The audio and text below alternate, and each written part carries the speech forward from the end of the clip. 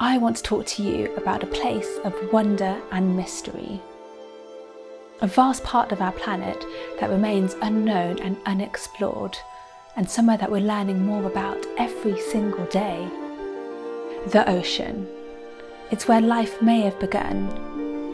And today, two and a half billion of us live within reach of it, and it means something to all of us.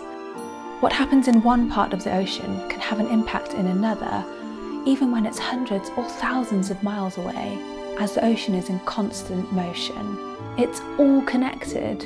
Every shoreline, sea, bay, and harbour are all part of the same single body of water.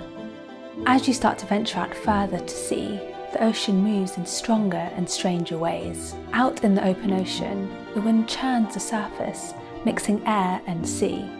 It's one of the greatest tools in the fight against climate change. It soaks up heat, cooling the planet. It's absorbed over a third of the carbon dioxide we've ever produced and gives us half the oxygen that we breathe, and will continue to do so if it remains healthy. Different parts of the ocean have different densities and temperatures, and this drives huge currents moving waters from the tropics to the poles and back again, guiding creatures great and small on some of the greatest migrations on the planet.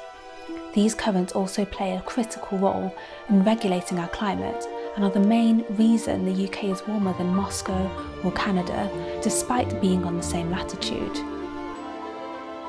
It takes a single drop of water a thousand years to travel around the world, without this vast moving expanse of water, our planet would be 35 degrees hotter than it is right now.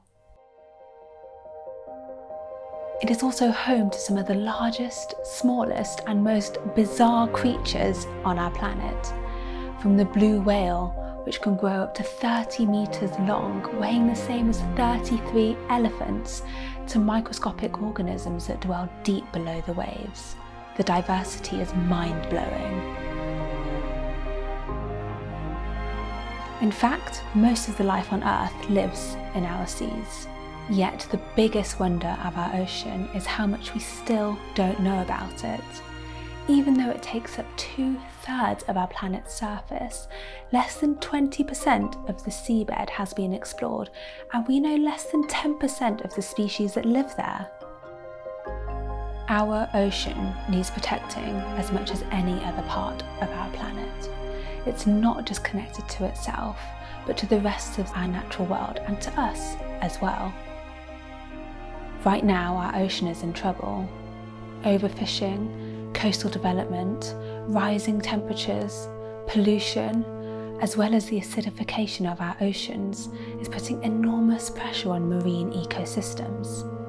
We need the next 10 years to be the turning point for our oceans before we risk damaging it beyond repair. That's why we're working with Sky Ocean Rescue to campaign for a new ocean recovery strategy with a vision and action plan to deliver UK ocean recovery by 2030. We want the government to commit to halting the devastating decline of our ocean as well as championing the potential of our ocean as a climate and nature hero.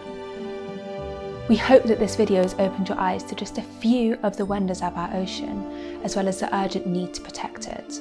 Remember to like this video if you want to learn more about our oceans and subscribe to our channel so you never miss a video.